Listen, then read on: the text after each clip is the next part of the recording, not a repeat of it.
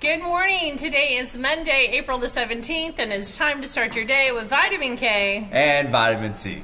All right, everyone, if you will please stand for the pledges.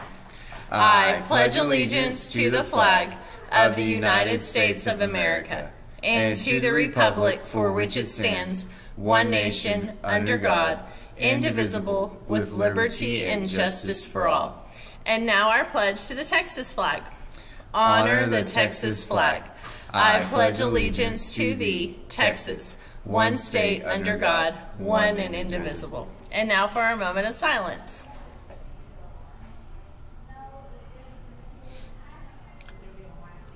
All right, thank you everyone. Well, Vitamin C, do we have any birthdays today? We do. We have one birthday today. It is Jolice's birthday in Miss Paisano's class. So happy birthday. Yes, happy, happy birthday. All right, and our joke is what do planets like to read?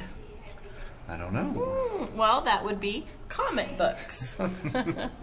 and speaking of reading, yes. what is tomorrow, Vitamin oh, C? Tomorrow is the Reading Star Test. Our third through fifth graders are going to be taking a test tomorrow mm -hmm. morning. And so they will be working very hard. They will. Yes. Mm -hmm. And Owls, you are very well prepared. Your teachers have done a wonderful job and you have done some amazing work this year. So please use this opportunity to be a wise worker and a sagacious scholar to show what you know, use your time wisely, and be that luminous leader and be the one team. How can they show the one team during STAR? Absolutely. That's when when you get done your work, uh, you are staying quiet so your classmates and other others around you, they can still work their very best. And what can they do to be kind to themselves? Oh, absolutely. So, a kindness tip of something they can do tomorrow is um, tonight, actually, is get a good night's sleep. So that way, when they come in tomorrow, they are ready for the test and they are ready to do their best. And that's a great tip for everyone because you know tomorrow, boys and girls, our um, our schedule will be will be slightly different. Um, our kinder first, second, first, kinder first and second grade friends, your schedule will be just a little different. So um, we thank you for adjusting to that schedule so our third, fourth, and fifth graders can do a wonderful job tomorrow.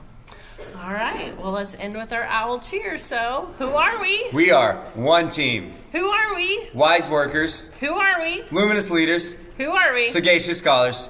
We, we are owls. Have a luminous day.